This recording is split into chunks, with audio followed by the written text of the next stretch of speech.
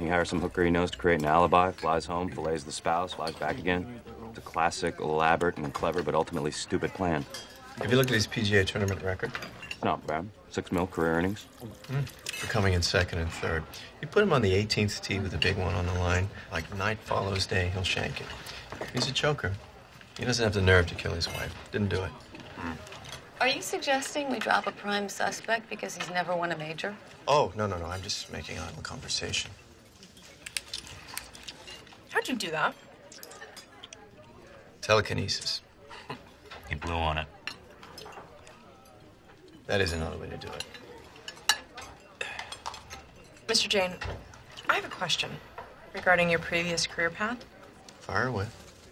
When you met with other psychics, real psychics, could they tell you were just pretending? There's no such thing as real psychics. I beg to differ. My cousin Yolanda's a psychic. Your cousin is deluded or dishonest or both. Hey, steady. I know. He's entitled to his opinion. He's wrong, though. She has power. Thank you. She can communicate with the other side. I've seen her do it myself. She let you speak with someone that's gone. Yes. Someone that you love and still miss very much. Yes. You wanted her power to be real, so it was. No. You're so sure you're right. Science don't know everything. 500 years ago, radio would have seemed like magic. Exactly. 500 years in the future, it could be totally normal to communicate with the other side. The other side. Hmm. Your father's a football coach, yeah? How do you know that? It's obvious from your whole demeanor. My point is, didn't Dad always say life is like football?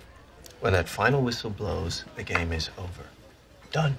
There is no more. There is no other side. This is it. Lobster and bread rolls and nautical kitsch. And then, psht, nothingness. You poor, sad man. The kingdom of God is a real place. Okay, later tonight when Rigsby asks you to come back to his hotel room. Say yes. Excuse me? I know you were planning on refusing him very curtly.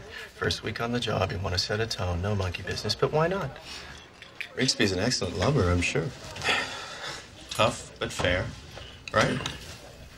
Right.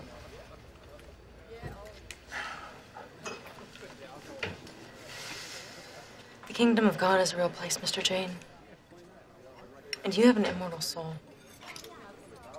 Oh, I do so hope you're wrong.